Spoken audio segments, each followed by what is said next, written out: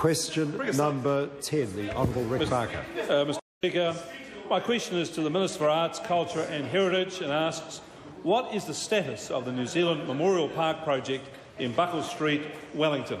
The Mr. Honourable Speaker. Chris Finlayson. Yes, the project is in the planning stage. The New Zealand Transport Agency is working with both central and local government to investigate Memorial Park improvements and will be undertaking full public consultation as part of the Basin Reserve improvement investigations. This government's also taking the time to consult with Mount Cook School, the RSA and the local community, and this approach contrasts with that of the previous government, which wrote to Mount Cook School in August 2008 saying it didn't consider it appropriate for the school or the wider Mount Cook community to have any input into the decision-making process. The Honourable Rick Mr Barker. Speaker, Mr Speaker, does the Minister accept that seeing what resembles an abandoned tip immediately after placing a flower on the tomb of the unknown warrior is a national disgrace? And what action is he taking to complete the work for a respectful memorial to those who gave their lives for this country? And now, Minister, is the right time to do the right thing. The Honourable Chris Finlayson.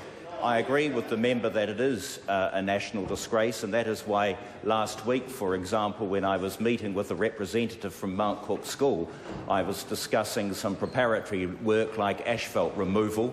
I agree with what the member said uh, that we have to get on with it, but as I've said before to that member, we're not going to do it in some half baked manner. It's going to be done properly.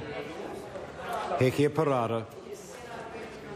Well, to the Minister, what reports has he seen about the development of Memorial Park? The Honourable Chris Finlayson. Yes, I've seen reports that the previous government said it was not appropriate for the local school uh, or the Mount Cook community to have input into the decision making process. I've seen reports that the Labour candidate for Wellington Central in 2008, Grant Robertson, tried to get the uh, government to reconsider that decision but was told where to go. And I've seen correspondence stating that the ex minister refused to sign off on the design and wanted to revisit options. Supplementary question. Grant Robertson.